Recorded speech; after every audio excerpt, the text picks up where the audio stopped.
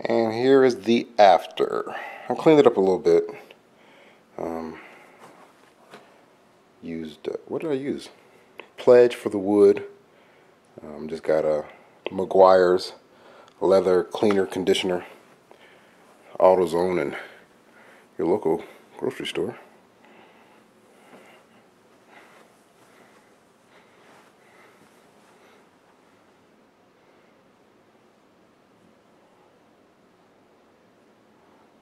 It's not as shiny as it looks in this video, but uh, it's got a nice sheen to it.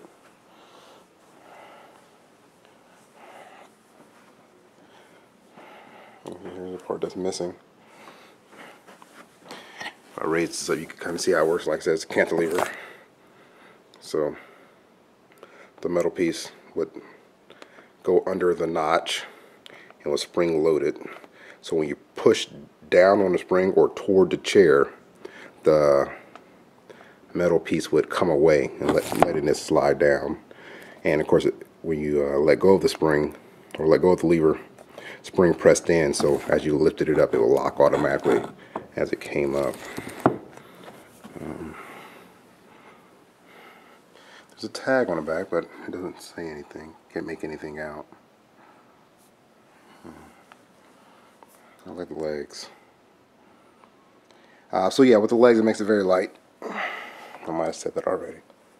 I uh, I lowered the chair back to to the lowest position, and uh,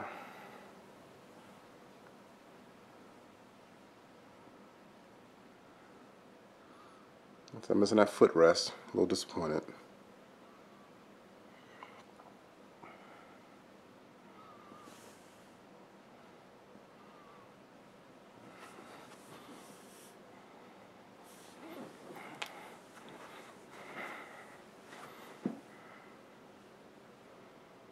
Well, if anyone has any questions, let me know.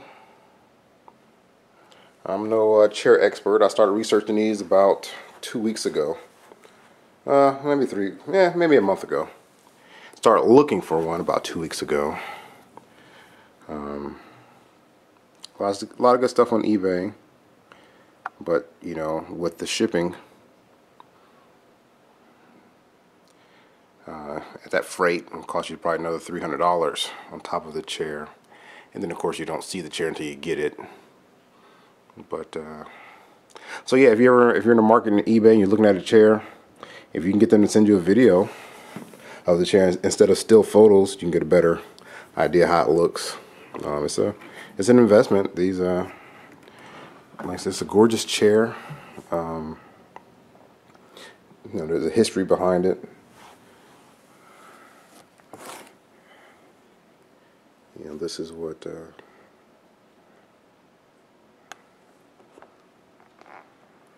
craftsmanship look look like back in the day. Beautiful work hard work I'm sure.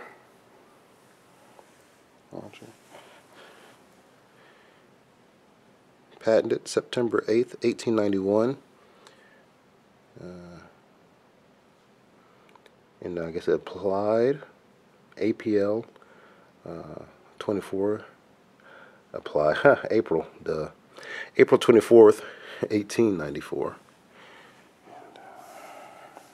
I've seen a few differences in these. I've seen one with a screw hole here. Maybe they filled it in. I don't know I don't know what would have gone underneath. Um, I was thinking maybe a piece of wood or something. Just to, to finish off the look you see some of those Kokens at the wood uh, underneath and looks really nice. The underside, underside. I'm trying to see where. I can't really see what you screw underneath there, but um, not a lot out there on these chairs, unfortunately. So this is my contribution to the uh, barber chair community. Is uh, posting this YouTube video. Um, thanks for checking it out and uh, enjoy the uh, rest of your day.